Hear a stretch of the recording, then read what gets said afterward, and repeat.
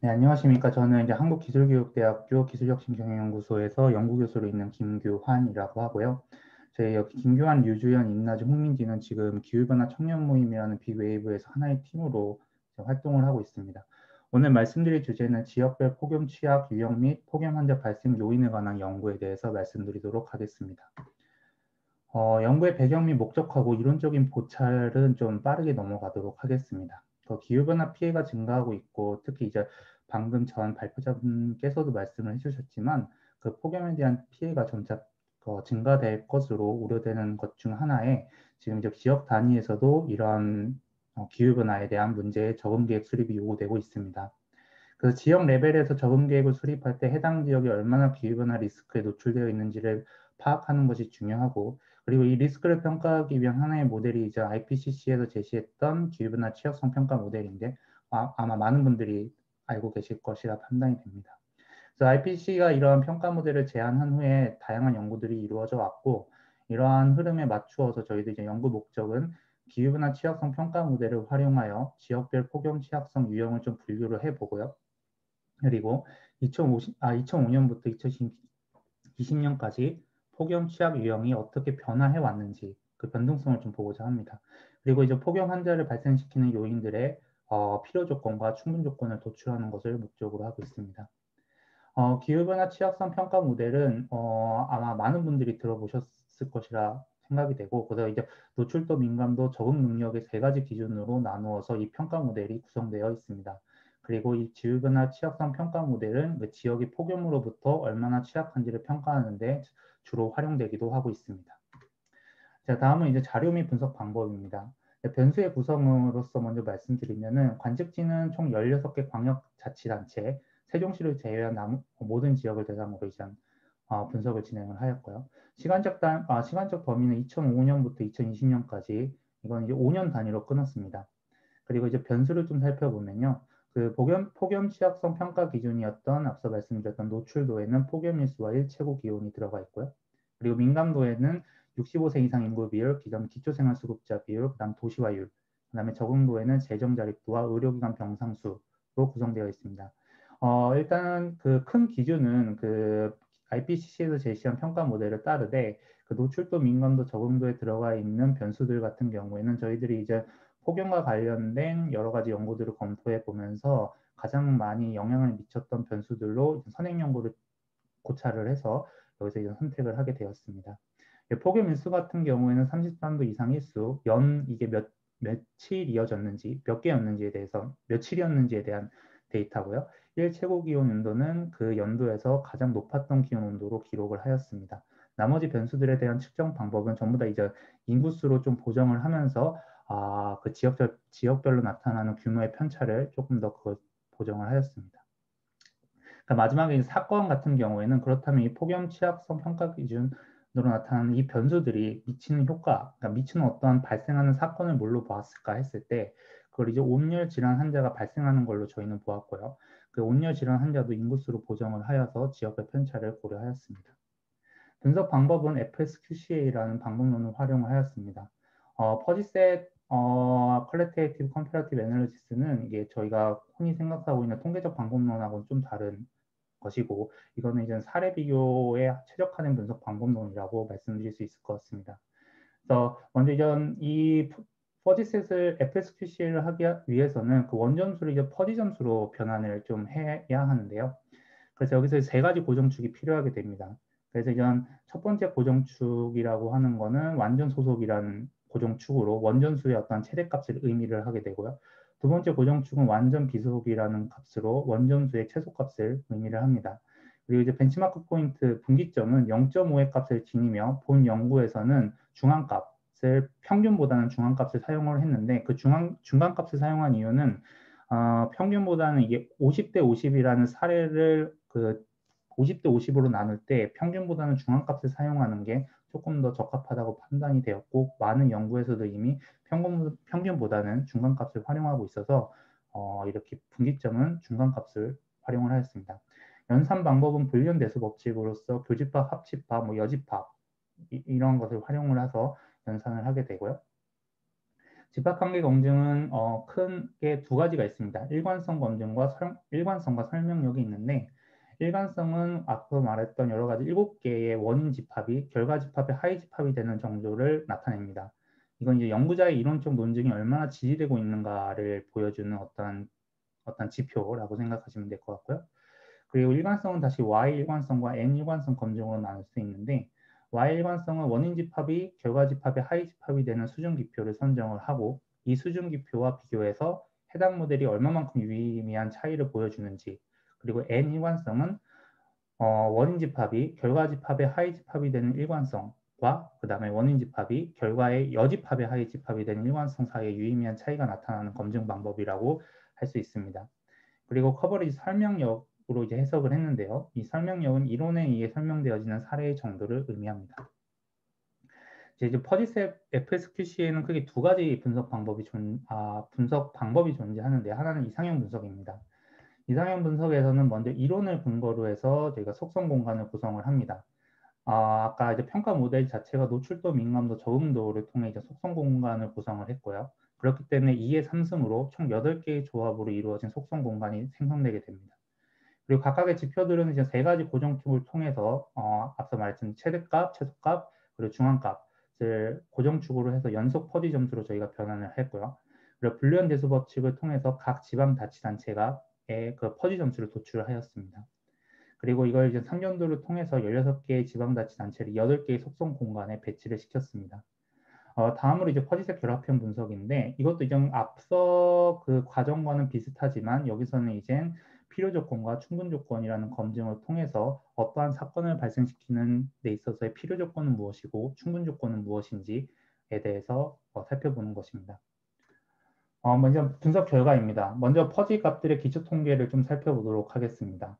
여기 이제 1시기, 2시기, 3시기로 나누어져 있고 각각의 이제 기후 노출도, 기후 민감도, 기후 적응도로 구성되어 있습니다. 어, 먼저 이제 기후 노출도는 large E, 대문자 E, 그 다음에 기후 민감도는 large S, 그 다음에 기후 적응도는 large A로 표시가 되었고요. 자, 이제 시간의 변화에 따른 지역별 폭염 취약성 유형을 분석하기 위해서 노출도, 민감도, 적응도를 구성하는 하위 변수들의 퍼지 소속 점수를 산출하는 것이 필요했습니다. 어, 노출도, 민감도, 적응도를 일단 구성하는 변수들의 단위가 좀 상이했습니다. 앞서 말씀드렸지 노출도에는 뭐 온도, 어, 일수, 그 다음에 온도 이러한 변수들이 좀 단위가 상이했기 때문에 이걸로 이제 Z값으로 표준화하여서 평균을 도출을 하였고요. 그리고 시간 변화에 따라 지역별 폭염 취약성 유형의 변화를 좀 살펴보기 위해서 이 1시기, 2시기, 3시기의 어떤 최소값, 중위값, 최대값을 각각 구분하는 것이 아니라 좀 동일하게 설정할 필요가 있었습니다. 그래서 세 개, 즉 노출도, 민감도, 적응도의 값이 어떤 기준을 우선 마지막 시기인 3시기로 두되 만약에 최소값과 최대값의 경우 다른 시기가 더 작거나 큰 경우에는 그 값을 사용하여서 전체적인 퍼지 점수를 산출을 하였습니다. 자 이제 이게 마지막 이게 어, 오른쪽에 보시는 표가 이제 퍼지 점수 각각 16개 지역의 그 일시기의 기후 노출도, 기후 민감도, 기후 적응도에 대한 퍼지 점수의 값들인 것이고요. 이걸 이제 그림으로 표시하면 다음과 같습니다. 어, 우선은 이게 저희가 원래 속성 공간이 8개이긴 한데 8개 속성 공간을 만들려고 하면 차원이 높아지다 보니까 우선은 2차원적인 평면도에다가 어, 어, 나타냈고요. 그 다음에 그렇기 때문에 먼저 큰 기준으로 보면은 Y에는 이제 민감도를 넣고요. 그 다음에 X축에는 노출도를 넣었습니다. 그리고 적응도는 좀 그라데이션으로 표시를 해야 하였습니다. 그래서 1, 4분면은 노출도가 높고 민감도가 높은 어, 그 유형에 들어가 있는 그 지역들이라고 보시면 될 것 같습니다. 그래서 어, 노출도가 높고 민감도가 높고 여기서 만약에 빨간색이 진하다고 하면은 그 large E, large S, large A라고 보시면 되고요. 그 2, 4분면 같은 경우에는 노출도가 낮고 민감도는 높은 지역 으로서 어, small e, large s, 그 다음에 3, 4분면은 small s, small e가 될 거고 아, 네 맞습니다. small e, small s가 되고요. 4, 4분면은 어, large e, small s 분면으로서 어, 보여주고 있습니다. 요건 좀 그림으로 보면은 이렇게 보여지는데 좀 요걸 이제 각각의 어떤 특징들을 좀 살펴보도록 하겠습니다.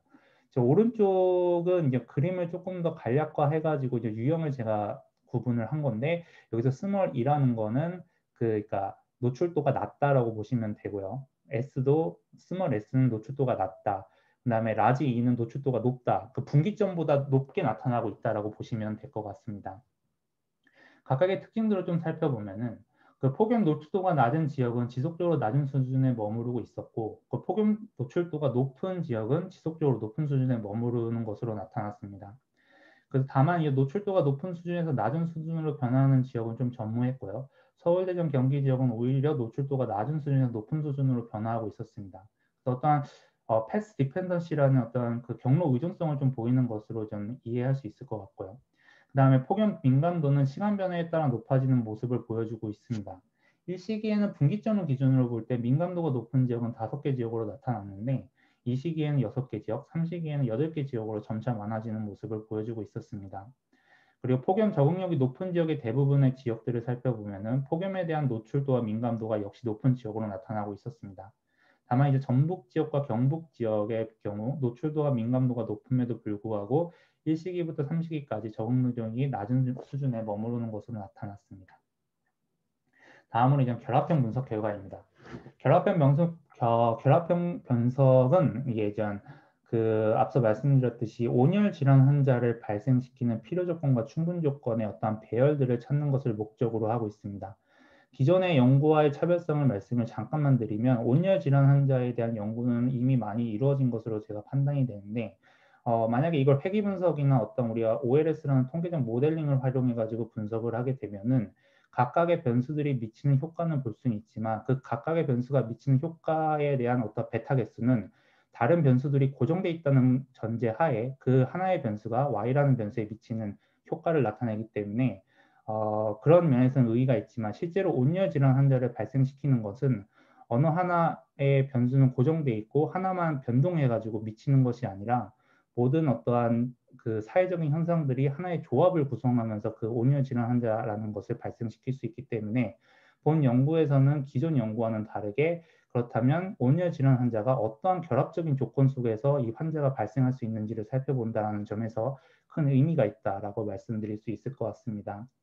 그래서 온열 질환 환자 발생은 그래서 이게 폭염인수, 1 최고 기온, 그다음 65세 이상 인구, 기초생활 수급자 수, 그다음에 도시화율, 재정 자립도, 의료기관 병상수에 의해서 구성이 되고요. 그래서 아까 말씀드린 대로 이제 불리한 대수 법칙을 활용해서 각각의 어떠한 이제 배열들을 도출을 하고 그 배열에 적합한 지역을 이제 산출을 하게 됩니다. 불리한 대수 법칙을 활용하여 저희는 진리표를 도출을 하였고요. 여기서 1은 원인 변수가 분기점 이상으로 큰 값을 갖는 경우, 0은 분기점 미만으로 그 작은 값을 갖는 경우를 이야기합니다.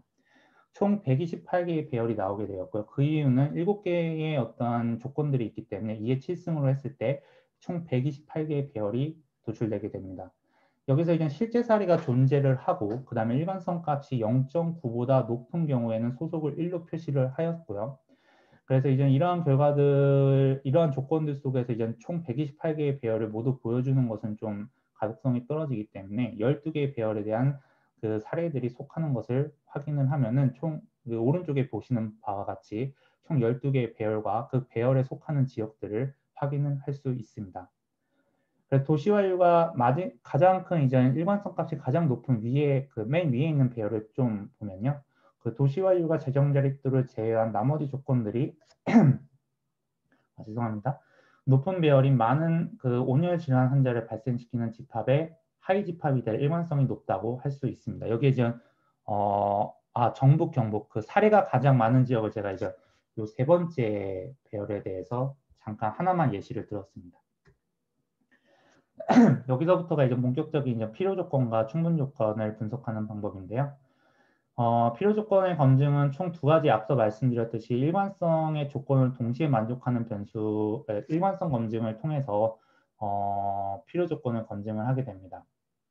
그래서 근데 어, 필요 조건 검증 결과 그 y 일관성과 n 일관성을 조건을 동시에 만족하는 변수는 나타나지 않았습니다. 근데 유의 확률을 검증 기준에서 조금 제외할 경우에는 65세 이상 인구가 온열 질환 환자를 발생시키는 필요 조건으로 나타나게 되었습니다. 즉 이것을 다르게 해석하면은 많은 온열 질환 환자 집합에 소속될 경우 65세 이상 인구는 거의 항상 이 온열 환자 질환을 발생시키는 필요 조건이라고 볼 수 있습니다. 다음으로 이제 충분 조건에 대해서 살펴보도록 하겠습니다. 이제 온열 환자 질환을 발생시키는 충분 조건에 대한 분석을 진행해 본 결과 총 5개의 배열이 충분 조건의 배열로 나타나게 되었습니다. 이 5개의 배열에 대해서 조금 다시 살펴보면요. 그 첫 번째 배열은 폭염일수가 적고 1최고 기온이 높으며 65세 이상 인구가 많고 기초생활 수급자가 적고 도시화율이 낮고 재정자립도가 낮고 의료기관 병상수가 적은 배열입니다. 이건 이제 충북 지역이 이 배열에 속하게 되고요. 경남 지역 같은 경우에는 폭염일수가 많고 1최고 기온이 높으며 65세 이상 인구가 많고 기초생활수급자 수가 적고 도시화율이 낮고 재정자립도가 낮고 의료기관 병상수가 많은 배열입니다. 이 배열에 속하는 지역은 경남 지역입니다. 그래서 밑에 있는 지역을 다 언급할 필요까지는 없을 것 같고요. 왜냐하면 이 배열 다섯 개의 배열이 최종적으로 이제 어, 축약 과정을 걸치면서 두 개의 배열로 축약 과정을 걸치게 되는데요. 결과적으로 이제 마지막 이 두 가지 배열이 그 각각의 그 온열 질환 환자를 발생시키는 최종적인 그 충분 조건의 배열이라고 보시면 될 것 같습니다. 그래서 첫 번째 배열은 65세 인구를 제외한 나머지 변수들이 다른 지역과 비교할 때 낮은 그 배열을 얘기를 하고요. 두 번째 배열 같은 경우에는 폭염일 수가 많고 1채공 기온이 높으며 65세 이상 인구가 많고 도시화율이 낮고 재정조리도는 낮고 의료기관 병상수가 많은 경우입니다. 첫 번째 배열이 좀 의미하는 것은 기후변화 노출도가 낮다고 하더라도 65세 이상 인구가 많은 경우라고 한다면 많은 온열 질환 환자가 발생할 수 있는 그 집합에 포함될 수 있음을 의미를 하고요. 두 번째 배열인 경우에는 65세 이상 인구뿐만 아니라 기후변화에 많이 노출될수록 온열 질환 환자가 많이 발생하는 집합에 포함될 수 있음을 의미를 합니다. 그래서 raw coverage는 여기서 raw coverage만 보시면 될 것 같은데요. 그 설명력을 의미를 하게 됩니다. 마지막으로 이제는 각각의 여기서 이제 두 가지 그 배열에 대한 것을 제시를 했는데 요 이제 두, 요, 이 배열에 각각의 16개의 그 지역이 이 배열의 소속 점수를 갖게 되고요. 이, 이 배열에 있는 이전 X축에는 이 배열의 소속 점수를 얘기를 하고요. Y축에는 그 온열 질환 환자를 퍼지셋 점수로 환산한 그 0에서 1 사이의 값을 갖게 됩니다. 그래서 요거를 이제 그 Y는 X라는 그래프를 그려서 이 밑에 있는 것은 이 분기점을 통과하지 못하는 지역으로 보시면 될 것 같고요. 따라서 만약에 Y는 X축 위로 모든 지역이 다 여기에 포함되어 있을 경우에는 콘시스턴시 값이 1로 나타나게 됩니다. 왜냐하면 모든 이전 결과를 설명할 수 있기 때문에 그렇게 나오게 되고요. 그래서 요거 두 가지 배열을 이전 점수로 환산을 해서 이전 제가 이전 한번 그려보았던 것이었고요. 어, 이것도 이전 다시 두 가지 모델 두 가지 배열을 다시 이전 불리대수 법칙으로 여기 두 가지 배열에서 최대값을 갖는 배열을 최종적으로 모델을 선택을 해서 다시 이제 그 각각의 갖는 값들이 최대값이 달랐기 때문에 y는 x라는 그래프로 이제 최종 모델을 결정을 하게 되었습니다. 그래서 이게 이제 어, 이 두 가지 배열의 최종 모델로 보시면 될 것 같습니다. 네, 감사합니다.